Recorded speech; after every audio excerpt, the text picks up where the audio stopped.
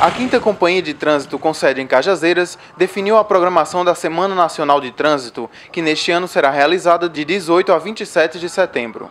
Este ano, a Semana Nacional de Trânsito tem como tema álcool, outras drogas e segurança no trânsito.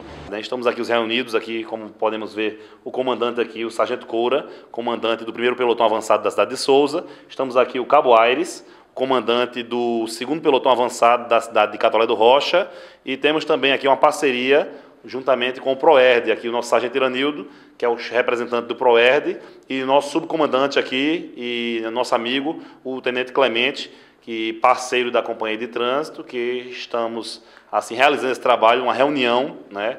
Primeiro vamos palestrar para os nossos policiais, para formar a tropa, para conscientizar também da importância de respeito às leis de trânsito, né? da questão do combate, a questão da como será o combate da lei seca, embriaguez ao volante, menor ao volante, né? a questão de excesso de velocidade, ou seja, estamos nos reunindo, estamos passando as diretrizes né, para toda a nossa tropa que compõe a 5 Companhia de Trânsito, o Batalhão de Trânsito, agradecer ao comandante do 6 Batalhão, Coronel Ronildo, que nos enviou aqui o nosso sargento Iranildo, que ele é do PROERD, e o tema da campanha esse ano é álcool, outras drogas e a segurança no trânsito, efeitos, responsabilidades e escolhas. Então, nós somos que somos portadores do, do ou consumidores ou clientes do Sistema Nacional de Trânsito, do, do nós somos usuários né, do Sistema Nacional de Trânsito, somos pedestres, às vezes, às vezes como condutor. É, nós usamos diariamente esse sistema, nós temos que realmente ter cuidado, ter responsabilidade, né, questão de gestão de bebida alcoólica,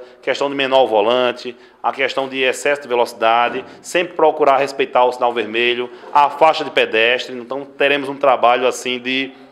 de como eu diria, de combate no tocante à faixa de pedestre. O, todo, toda a nossa tropa estamos conscientizando e vamos partir para esse enfrentamento no tocante a conscientizar as pessoas com carro de som, né, vamos estar aí com carro de som, com palhaços, com brincadeiras, vamos participar de escolas também, né, do Sertão Paraibano, dando, é, efetuando palestras. Então, quem precisar, pode manter contato através da Companhia de Trânsito, telefone 9193-2030 ou 8830-3872. Pode ligar, pode agendar uma, uma palestra em escolas, que estaremos aqui todos reunidos para ministrar essa ação de respeito, essa ação de educação promovendo não a indústria de multas, não a indústria do reboque, promovendo a conscientização do sertão paraibano como um todo, que é o objetivo, né, nós, eh, primeiramente, né, não é só fiscalizar, não é só multar, e sim conscientizar, promover a educação. É, o álcool realmente é envolvido não só em acidentes de trânsito,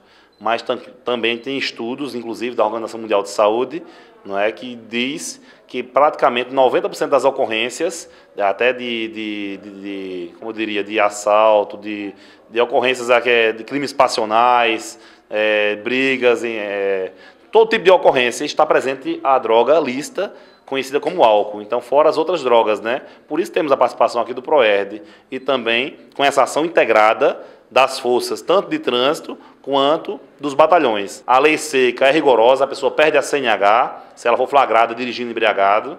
Né? A multa é R$ 1.960. Se for reincidente menos de 12 meses, a multa passa para R$ 3.800. De imediato, a pessoa, mesmo que se recuse a soprar o etilômetro, ela é conduzida para a delegacia, ou seja, as sanções são rigorosas. Mas estamos numa semana educativa e não podemos estar é, vamos iniciar esse trabalho de conscientização. Então, não quero apelar para algema, não quero apelar para repressão, quero apelar para a conscientização dos senhores aí, internautas, para que, que vocês possam é, estar conscientes e, quando forem fiscalizados pela autoridade de trânsito, pelo agente da autoridade de trânsito, da Polícia Militar, possam facilitar a abordagem. E já de antemão, já estou inteiramente à disposição do nosso público internauta.